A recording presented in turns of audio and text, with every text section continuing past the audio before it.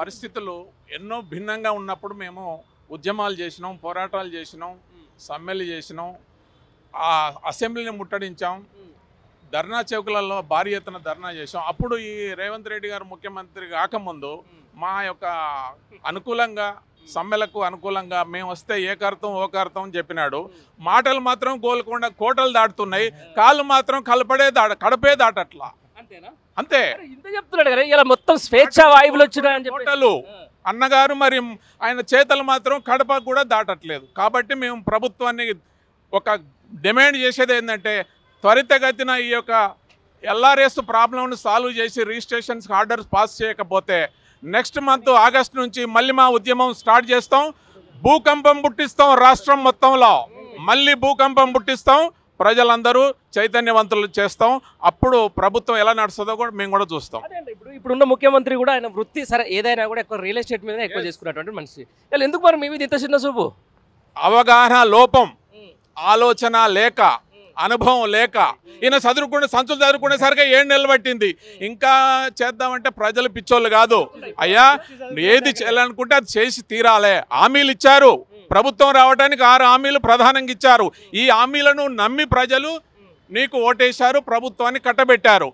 నువ్వు తక్షణమే ఆచరణ కార్యరూపణ దాల్చకపోతే ఈ మాటలు గోల్కొండ కోటలు దాటితే ప్రజలు కూడా సన్నద్ధులవుతున్నారు పోరాటానికి. మేము సన్నద్ధత చేయడానికి మేము అందరం సమీకరిస్తున్నాం. రాష్ట్ర వ్యాప్తంగా మాత్రం ఈ సమస్యను కనుక తీర్చకపోతే ఈ ఎల్ఆర్ఎస్ ప్రాబ్లంను కనుక తీర్చకపోతే మళ్ళీ రాష్ట్రం మొత్తం ఒక తాటి మీద తీసుకొస్తాం రియల్ ఎస్టేట్ రంగం ఈ రాష్ట్రానికి ఇరవై రెండు శాతం లాభం. అంటే ప్రభుత్వ ఖజానాకు ఇరవై రెండు శాతం వచ్చేటువంటి అతిపెద్ద సంస్థ. ఈ సంస్థకు ఒక వంద శాఖల అనుబంధ సంస్థలు ఉన్నాయి. కాబట్టి ఈ సంస్థలను నిర్వీర్యం చేయడంలో ప్రభుత్వం ఆటోమేటిక్గా నిర్వీర్యం అయిపోతుంది అబాసుపాలవుతుంది కాబట్టి మేము ప్రభుత్వాన్ని డిమాండ్ చేస్తున్నాం. త్వరితగతిన ఈ కోరికలను నెరవేర్చి ఇమీడియట్లీ శాంక్షన్ చేయాలా? ఇది మా డిమాండ్. మీరేమంటారు సార్? ఒక ఒకవైపు నిరుద్యోగులు ధర్నాలు చేస్తూ ఉన్నారు ఇంకొక వైపు రైతులకు ఏం జరుగుతలే అంటున్నారు. ఈరోజు మళ్ళీ మీరు బయటకు వచ్చేసిండ్రు. మరి పాలన చేస్తురా లేకపోతే వీళ్ళు ఏం చేస్తున్నట్టు ఇప్పుడు ఉన్నటువంటి ప్రభుత్వం? నా పేరు ఊడెం వెంకటస్వామి. నేను తెలంగాణ రియల్టీ అసోసియేషన్ మంచిర్యాల జిల్లా ప్రెసిడెంట్ను. అయితే వాస్తవంగా ఏంటంటే ఇప్పుడు మా అన్న చెప్పిన దానికన్నా పెద్ద ఉద్యమం చేసినాం మేము. ఒక నాలుగైదు వేల మందితో మా మంచిర్యాల జిల్లాలో పెద్ద మీటింగ్ అరేంజ్ చేసి మేము ఏదైతే ఉన్నో గవర్నమెంట్ కనువిప్పు కలిగేటట్టు అప్- అప్పుడున్న గవర్నమెంట్లో ఉన్న పెద్దలను కలవడం జరిగింది మంత్రులను కలవడం జరిగింది. తర్వాత మేము ఈ కాంగ్రెస్ గవర్నమెంట్కి ఏ విధంగా సపోర్ట్ చేసినామంటే సాయశక్తుల సాయశక్తుల సపోర్ట్ చేస్తే ఈ ఈ- ఇవాళ మా ఎమ్మెల్యేలు మా జిల్లాలో మా జిల్లాలో ఉన్న ఎమ్మెల్యేలు అందరు గెలిచారు. అందరు గెలిచారు. అందరికీ సపోర్ట్ చేసినాం. అందరికీ మా మా ఇష్యూ మొత్తం చెప్పినాం. వాళ్ళని అవాయిడ్ చేసేసి మీకు సపోర్ట్ చేస్తున్నాం సార్. మీరు మమ్మల్ని చూడాలంటే మేము వచ్చినాక తప్పకుండా చూస్తూ ఉన్నారు కానీ ఈరోజు ఏం జరుగుతుందంటే ఇక్కడ వేసిన గొంగలు అక్కడనే ఉన్నది. ఎవ్వరు కూడా ఈ రియల్ ఎస్టేట్ వ్యవస్థను పట్టించుకునే నాదుడే కనబడతలేడు.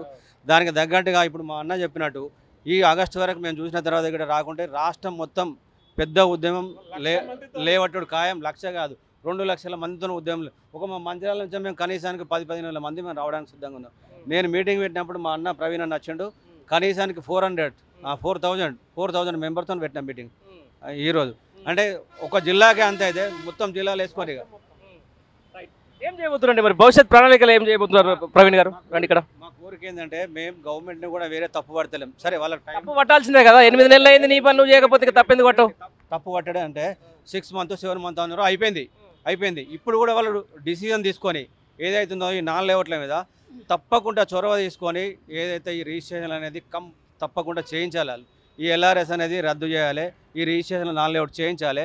ఏదైనా ఒక ప్రాసెస్ అనేది ఒక ఒక ఆ, ఒక ఒక విధమైన పాలసీని గవర్నమెంట్ పట్టుకురావాలి రియల్ ఎస్టేట్ మీద. పట్టుకురాకుండా వీళ్ళు ఉంటే కూడా ఇదే బాగుండదు. రైట్ ఏంటి మరి భవిష్యత్ ప్రణాళిక ఏం చేయబోతున్నారు ప్రవీణ్ గారు గారు మీరు?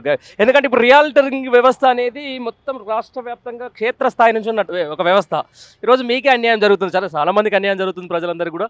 దాంతోపాటు అంతో ఎంతో మీ ఓడు మా ఓడు గెలిస్తే మా తోటి రియాల్టర్ గెలిస్తే మాకేమైనా బాధ మంచి కలుస్తుంది మంచి మంచి మంచి చెడులు చెప్పుకోవచ్చు అనుకుంటే మరి మీ పరిస్థితి ఇట్లా ఉంటే సామాన్య పరిస్థితి ఎట్లా ఉంటుంది అనుకుంటారు మరి? ఖచ్చితంగా మేము సమయం కోసం ఎదురు చూస్తున్నాం. ఈ ప్రభుత్వం ఏదైతే ఎలక్షన్స్కి ముందు మాకు హామీలు ఇచ్చిందో ఎల్ఆర్ఎస్ను రద్దు చేస్తానని చెప్పింది రిజిస్ట్రేషన్ ఛార్జెస్ పెరగకుండా చూస్తామని చెప్పింది. అట్లాగే ఈ గ్రామ పంచాయతీ లెవెట్లలో రి- ప్లాట్లను ఖచ్చితంగా రిజిస్ట్రేషన్ చేస్తామని చెప్పి హామీ ఇవ్వటం జరిగింది. ఆ హామీని కనుక ఈ ప్రభుత్వం రేవంత్ రెడ్డి గారు నెరవేర్చకపోతే ఖచ్చితంగా మాకు ముప్పై మూడు జిల్లాల్లో తెలంగాణలో అసోసియేషన్లు ఉన్నాయి. ముప్పై మూడు జిల్లాల్లో మేము ధర్నాలు ఖచ్చితంగా సెక్రటరియట్ని ముట్టడిస్తాము. తగినటువంటి శాస్తిని ఈ ప్రభుత్వానికి మేము చేస్తామని కూడా హెచ్చరిస్తున్నాం. ఇది మొత్తానికి చూస్తున్నారుగా ప్రజా ప్రాణంలో జరుగుతున్నటువంటి పరిపాలన. ఇది అంటే పేరుకు మాత్రం ఎన్నో అడ్డగోలు హామీలు ఇచ్చేసినాము. ప్రతి ఈరోజు అధికారంలోకి వచ్చి కూర్చున్నాం. కూర్చున్న తర్వాత ఎవరైతే మాకు నమ్మి ఓట్లేసి ఈరోజు మమ్మల్ని అధికారం ఇచ్చారో వాళ్ళని మా మీద నెత్తి మీద వేసి తొక్కుతామనే పరిస్థితిలో ఈరోజు ప్రభుత్వ పెద్దలు ఉన్నారు. ఈ నేపథ్యంలో కూడా చూస్తూ ఉన్నాం.